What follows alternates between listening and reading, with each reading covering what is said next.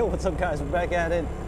Today, I want to talk about the best action camera you can get for your money. That is the Insta 360 One X2. That's what I'm using right now.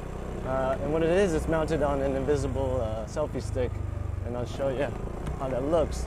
But uh, basically, it's in the blind spot of the camera, so it looks like it's floating. It looks like a drone is kind of following you everywhere you go, which is kind of sweet.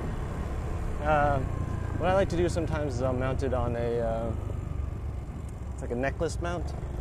So I'll show you what it looks like here. Uh, and that gives you a good uh, first person view. I really like this Insta 360 uh, because of the image stabilization. You know, it's really good. I'm moving left and right, moving behind me, even to the side. And you get these cool like drone videos. It's pretty sweet. Uh, but the image stabilization on this thing is really good.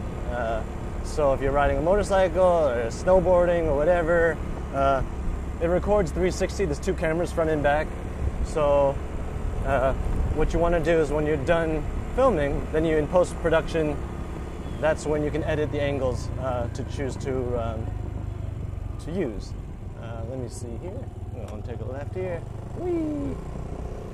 Uh, but it's really easy to use and it's, it's fun because uh, you get all the different angles and then you could use different filters and different uh, cool uh, special effects and they give some uh, interesting shots. Makes you look like a better photographer than you actually are. Uh, it records in 4k 30 fps which is what you want for youtube. Um, also records up to 5.7k and 50 fps so it's pretty uh, diverse, but 4K 30 FPS is what you want uh, for YouTube. Um, it has a really good battery life. You know, 80 minutes. Uh, it's pretty good. It takes around uh, an hour to charge. It does come uh, with one battery, and you could buy more on like Amazon. I have a three-pack. Uh, charges take about a little longer than an hour when you're charging multiple batteries.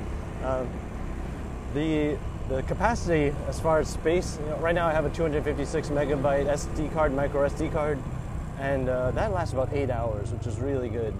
Um, you can get up to a terabyte, so that's going to last you around like 30 hours or so, which is really, really good.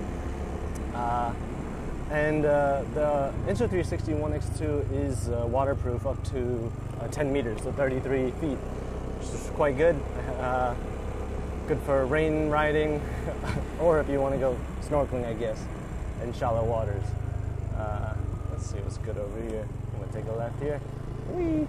But I really like this camera. I mean, I use it all the time. It's it's sweet, easy to use, easy to learn, and quite affordable. I'll put a link in the description below. You can check out everything for yourself here. Let's see. I'm gonna take. We're just riding around the block a little bit here. Uh, obviously you can't be holding the Insta 360 if you're riding a motorcycle because you need your clutch hands. But uh, this is the One X2. They did come out with the One X3, and then they also have what's called the Insta 360 Go. And they have the Go 2 and the Go 3 now. And those are like the mini ones that um, you can clip on like your pet or something like that, which is pretty sweet. Uh, but yeah, I love this camera. This Insta 360 One X2 highly recommend uh, checking it out. You know, it doesn't just film 360. You can also film, uh, you know, just with one camera, like a uh, like a GoPro. You know. But uh, I can't think of a better uh, action camera. You let me know what you think. But uh, if you found this useful, please like, subscribe, hit that notification bell. I will catch you later. Here comes a bump, bump, bump, bump. Sayonara. Bye bye.